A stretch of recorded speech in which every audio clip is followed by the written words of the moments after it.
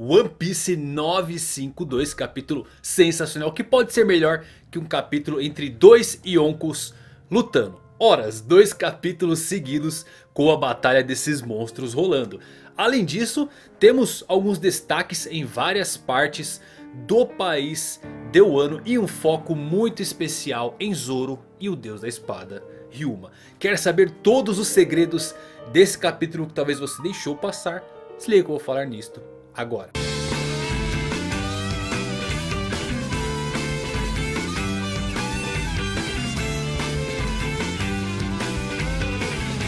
Fala galera, Evandro Fusari com mais um vídeo pra vocês, como vocês estão? Espero que todos estejam muito bem, One Piece 952 com os detalhes muito bons. Alguns segredos escondidos nas entrelinhas ali nas páginas, captou tudo. Vamos destrinchar esse capítulo. Antes aquele recadinho rapidinho. Se inscreve se ainda não se inscreveu. Ativa o sininho para receber todas as notificações. E a Odex, que é onde eu compro as minhas figuras, deixou um cupom eterno aí de 5% para quem quiser comprar as suas figuras, os seus bonecos de One Piece. Então o link está aí na descrição se você quiser dar um confere e aproveitar esse mega desconto. E mais uma coisa galera, o capítulo de One Piece atrasou mais do que o normal, todo mundo sabe isso. Bom, enquanto eu estava ali ocioso, esperando pelo menos a tradução em inglês sair para me conseguir fazer e escrever o roteiro para esse vídeo, eu fiquei matutando, eu fiquei pensando em quantos de vocês não ficaram dando F5 em páginas para ver se atualizava ou não.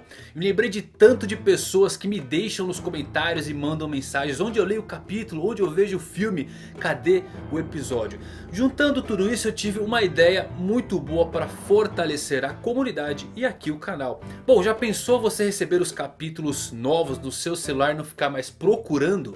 Quando vão sair. Sabe aquele Berserk que sai 3 capítulos no ano em datas totalmente aleatórias. Ou One Punch Man que sai em dias desordenados da semana. Solo Leveling, My Hero Academia, Nanatsu no Taizai e claro One Piece. E não só esses, todas as grandes obras e séries que estão sendo lançadas no momento, sendo enviadas para você assim que tiver tradução. Já pensou isso?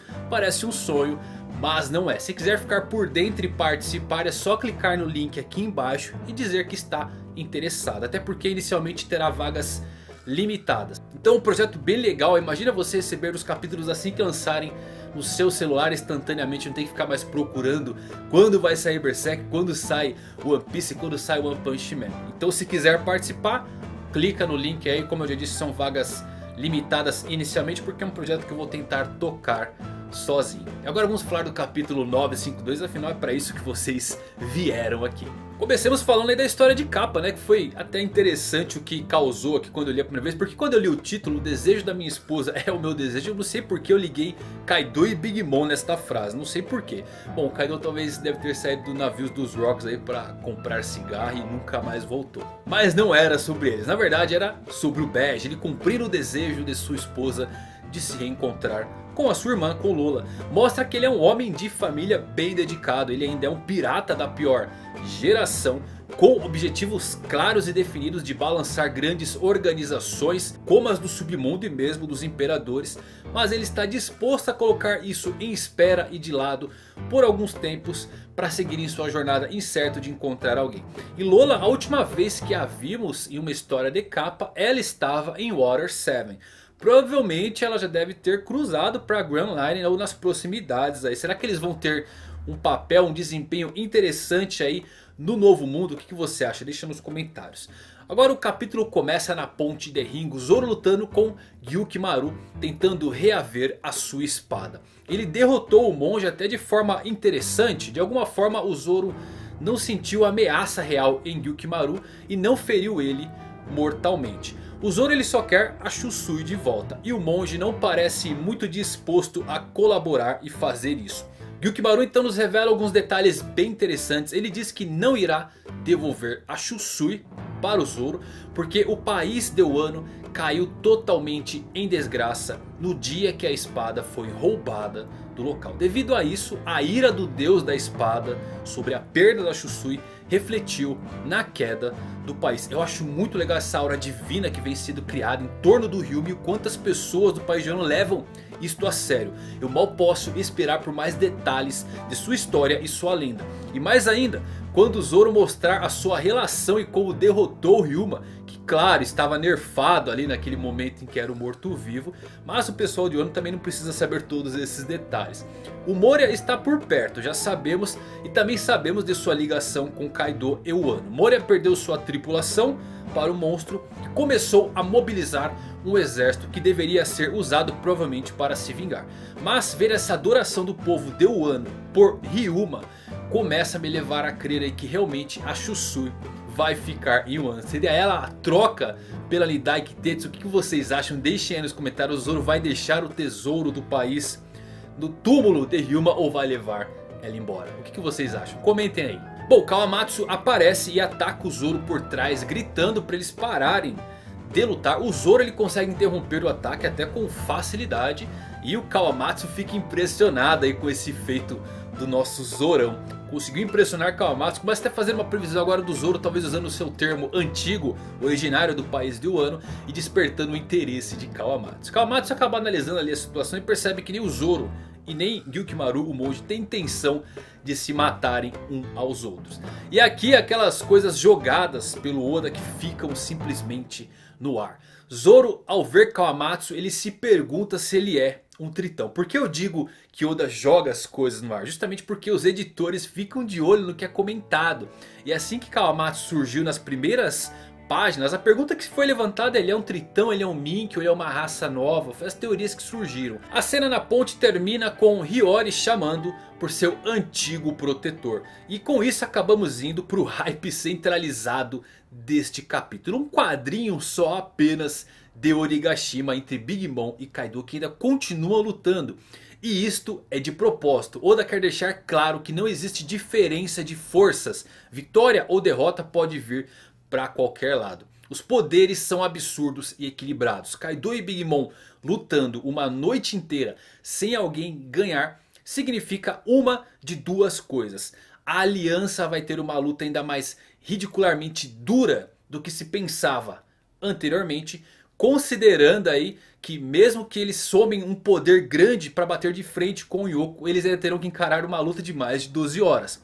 Então, se eles quiserem ter uma chance de vitória na base da força bruta, ou a aliança vai lutar contra um Kaido nerfado que terá Haki força talvez drenada após uma luta de vários dias contra Big Mom. E não necessariamente precisando haver um vencedor desse duelo, pode acabar sendo um empate para o cartel de ambos. Talvez esse seja o caminho para o desfecho, uma semi-vitória. Seria sim uma vitória considerada pela aliança, mas o Luffy potencialmente ainda não seria totalmente reconhecido com o poder de Yonko. Bom, dá para teorizar quanto a isso. E os subordinados de Kaido estão apreensivos porque a ilha parece que não vai aguentar a luta dos monstros.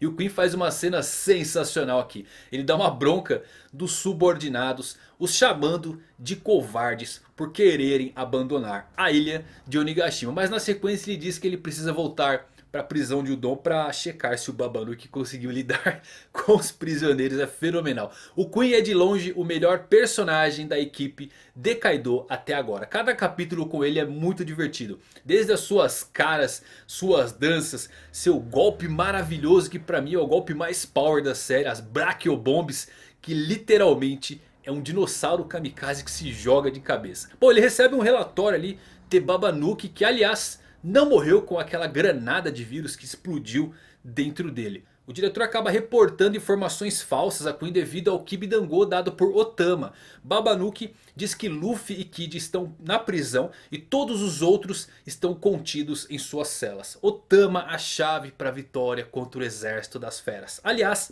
o verdadeiro rei ou rainha das feras é o Tama e não Kaido. O Kiko deixa claro que o seu poder funciona em qualquer animal. Mas nos resta a dúvida quanto às Zoan. Será que o Chopper vai acabar provando uma delas para tirar a nossa dúvida? Eu acho que não funciona em Zoans. Porque seria muito forte essa fruta. Seria praticamente uma Akuma no Mi que anula uma classe inteira. Então vai ter efeito somente nas Smiles. Uma coisa para deixar anotado mentalmente aqui é o Caribou dizendo que devido à sua ajuda, agora eles lhe devem um favor. E eu tenho certeza que vindo de Caribou, esse favor certamente será cobrado. O Chopper facilmente conseguiu cuidar do vírus que o Queen fez. E não vou longe dizer que o Chopper e Queen devem ser aí os possíveis rivais nas jogadas finais. Quais outras armas virulentas Queen pode ter em mãos. Temos Chopper possivelmente indo para medicinas novas aqui no País de Wano. Quem não lembra daquela grama usada por Otsuru para curar o envenenamento de Otama. Então Chopper certamente vai descobrir umas amostras novas aqui em Wano para sua medicina. E o Luffy está curado, né? Todo animadão lá no meio dos prisioneiros, parecendo torcida organizada. E nesse momento somos apresentados aos quatro chefes da Yakuza. Acho que o destaque aí desses quatro é o chefe de Udon. O chamado Omasa, a letra sangrenta, que é um Mink. Pelo menos parece ser, né? Então deve ser conhecido de Neko e no Arashi. E os quatro prometem ao vovô Ryo que vão juntar os rebeldes pelo país para a causa. Lufão chega todo alegre e chama Hyogoro de vovô. E eles ficam bravos com Luffy pela forma indelicada que ele se dirige ao chefe. Um detalhe real inserido nesta cena galera é que os quatro...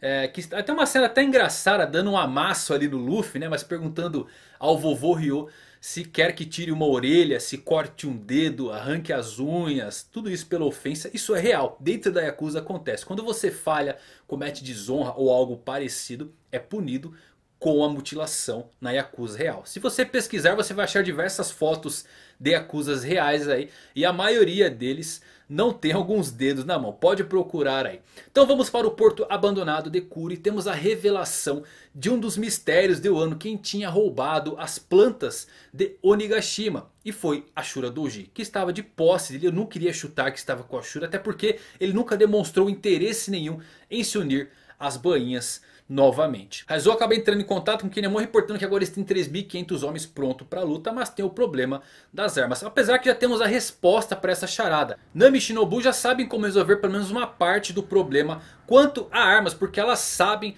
quando um lote de armas será despachado. Aquela informação que as duas conseguiram e obtiveram quando estiveram espionando dentro da mansão de Orochi. Aliás, uma outra coisa também que devem utilizar nos planos de invasão é camuflar todos esses navios que vão ser consertados no dia em que as lanternas do festival forem soltas no mar. Certamente esses navios vão estar camuflados para parecerem oferendas. Mas como os samurais querem lanças e espadas e não armas de fogo, Kinemon diz que precisa de uma base de operações e diz que vai para a Vila Amigasa operar de lá. E quem temos esperando alguém na Vila Amigasa? Hitetsu, descendente do lendário ferreiro e um dos grandes armeiros do país de Wano. Mais uma charada respondida quanto armas. Voltamos então para Ringo no encontro entre Kawamatsu e Hiyori. O Oda para confundir novamente coloca Zoro relembrando que Kawamatsu é um capa. O legal é que em todas estas cenas de diálogo entre Kawamatsu e Hiyori, esse encontro dos dois, Gyukimaru está em posição de ataque em cima da ponte. Em nenhum momento ele abaixou a guarda. E a Hiyori chora ao encontrar Kawamatsu Novamente ela pede desculpas a ele porque ela fugiu e estava preocupada se ele ainda estaria vivo, se ele pudesse morrer. Porque ele lhe deu todos os seus alimentos para que Hiyori pudesse sobreviver. Um encontro até tocante entre os dois. Kawamatsu mostra um belo sorriso ao ouvir seu pedido de desculpas. Mas nesse momento aparecem capangas de Kaido e acabam atirando em Gyukimaru por conta do monge roubar as armas deles. Zoro e Kawamatsu os eliminam. Eu gostei da química entre os dois aqui para atacar em conjunto. Será que Kawamatsu vai poder agregar algum conhecimento às habilidades de Zoro assim como o vovô Ryu fez com Luffy, o que, que, vocês acham? Na última página temos Gyukimaru que sai correndo e foge mais uma vez. Ele chora lágrimas de alegria ao ver Kawamatsu vivo. Ele o chama The Lord. E com isso podemos praticamente descartar de Gyukimaru ser o último bainha desaparecido. Ser Denjiro visto que ele chama Kawamatsu por um tratamento mais nobre. Aliás o problema das armas de Kinemon certamente terá uma ajuda com todas as armas que estão de posse do monge. Também vai agregar tudo isso no plano. O plano começa a caminhar de forma quase perfeita. Podemos colocar assim, tudo está dando certo.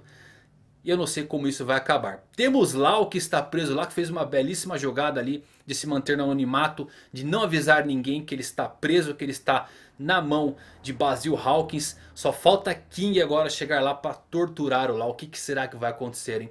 Mas eu acho que o plano está indo perfeito demais e pode não dar tudo certo no final das contas. Será que teremos um confronto direto 12 horas, uma noite inteira de luta entre Big Mom e Kaido? Como o Luffy vai conseguir lutar com um monstro desse? Eles não cansam, é um poder incrível.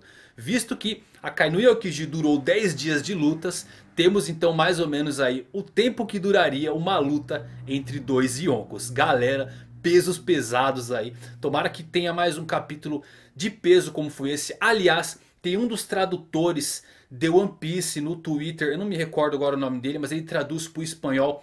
E ele deixou, que, ele deixou que ele já leu algumas coisas do capítulo 953 e falou que vai ser bombástico. A última vez que ele citou alguma coisa parecida foi no capítulo 944, que foi o melhor capítulo do País de Wano, aquele em que aparece o Killer. Então ele já deu umas dicas ali, uns spoilers então fiquem ligados que o 953 tem tudo para ser um baita capítulo. Galera, então é isso. Se você quiser participar desse projetinho de receber os capítulos aí no seu celular, clica no link aí e mostra que está interessado. Vamos ver se eu consigo tocar isso para frente. Mas é isso. Muito obrigado por terem assistido. Valeu. Se você já viu o vídeo de Romance Down, compartilha com seus amigos que querem conhecer e trazer eles para o mundo de One Piece. Mas até os próximos vídeos. Valeu por assistirem. Fui.